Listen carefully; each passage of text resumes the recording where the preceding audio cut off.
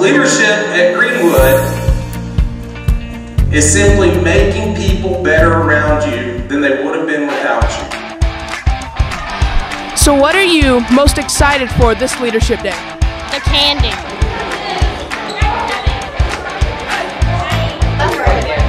How much time y'all got?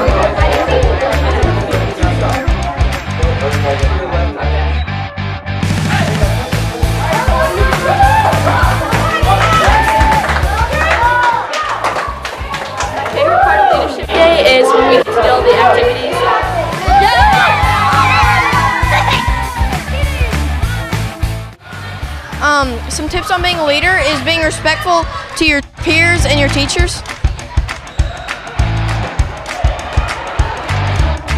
two, three, go! What is your favorite part of Leadership they've been so far? Uh, I don't know. Probably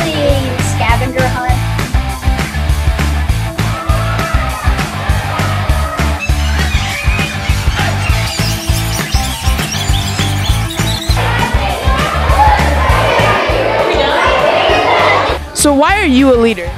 Because we do what we're supposed to do when we follow directions and we don't talk when the teacher's talking and when we are t- supposed to do something, we do it. Okay, when someone falls, I literally pick them up. So um, I'm a leader because I lead people, I guess. We're leaders.